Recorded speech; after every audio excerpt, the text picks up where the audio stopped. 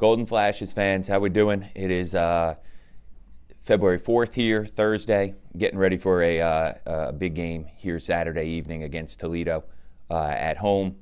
As, uh, as those of you who are watching this, I'm sure know, we, we've had a, a rough week uh, here in the men's basketball offices and uh, with the men's basketball program.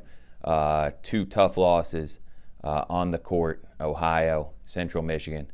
Uh, losses in personnel, which which you all know about, uh, with Xavier Pollard, Jaylin Walker, uh, Deon Edwins playing through injury as well, and um, you know he's struggling a little bit physically, but uh, playing his heart out.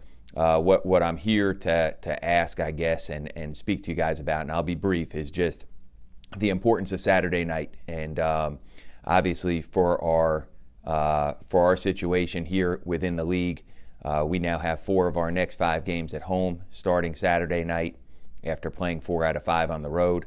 Um, with the way we've played these last two two games, where we've really struggled in every facet, um, you know, we need the Kent State community, we need our fans, we need everybody to be our six man Saturday night. Um, you know, we've had some emotional losses of personnel and emotional losses in terms of how we've played. And Saturday night, uh, for, for me personally as the coach here, uh, this becomes a game where we need every bit and every ounce of energy from, uh, from our fans to help get us over the hump. We're, we're playing an excellent team, uh, but we're also playing a young team.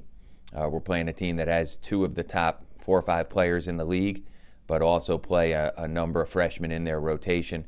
And, and we need to make the MAC Center Saturday night uh, about as miserable as humanly possible uh, for for Toledo and for uh, for their players. So uh, I guess my call to you all is uh, we have a celebration of 100 seasons of uh, Kent State basketball here Saturday, and I'm hoping that we can make this place as loud as it's ever been in 100 years Saturday night. So looking forward to seeing you. we need you there Saturday. We need you supporting these guys and, uh, and making it uh, as great a home court environment as we've had all season. Uh, hope to see you Saturday night, 7 o'clock, and go Flashes.